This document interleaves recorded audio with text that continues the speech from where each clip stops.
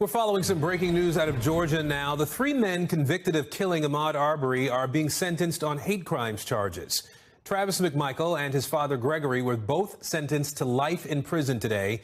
In the next hour, William Bryan's sentence is expected to be handed down as well. All three men were found guilty on federal hate crime charges back in February. Now, the killing of Ahmaud Arbery made national headlines after video showed those men chasing him through a neighborhood in Georgia and shooting him in the middle of a street. I want to bring in NBC News correspondent Ron Allen and NBC News legal analyst Danny Cevallos now. Uh, Ron, I'll start with you on the ground there. Walk us through what happened in court so far today.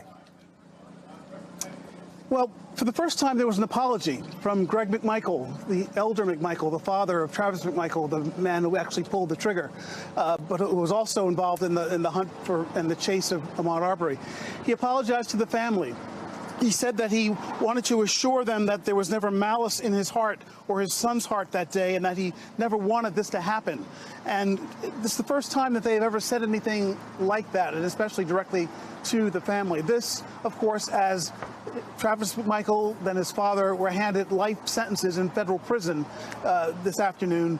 There's one more hearing to come for uh, Roddie, uh, William Bryan, the third defendant in this case, who was also convicted of several felonies that could land him in federal prison for the rest of his life as well.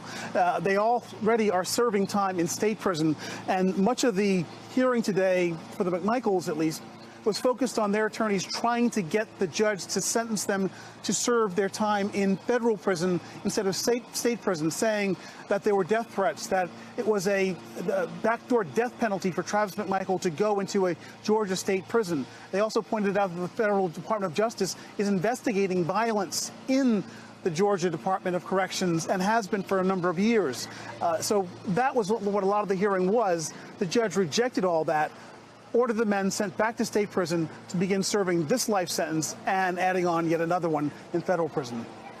You know, Danny, all three of these men had submitted guilty pleas in this case. The judge threw those pleas out.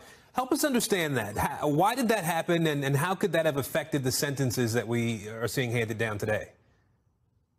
A defendant does not have an absolute right to have his guilty plea agreement accepted by the judge anytime I have a client enter into a guilty plea agreement, I have that moment of anxiety because I still know there's another hurdle. The judge has to approve of it. And in this case, there was pushback because the family uh, of Arbery uh, was not pleased at the idea of them being able or being recommended to spend their sentence in federal as opposed to state prison, which is really an interesting thing because a federal judge has very limited power to even control where a defendant spends his federal sentence, let alone a Georgia state sentence. So all really a judge can do is make a recommendation.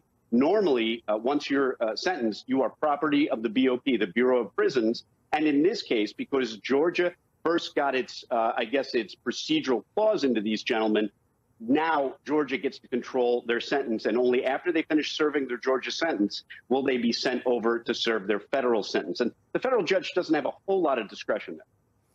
All right, NBC News legal analyst Danny Cevallos, Ron Allen for us on the ground in Georgia today. Gentlemen, thank you both.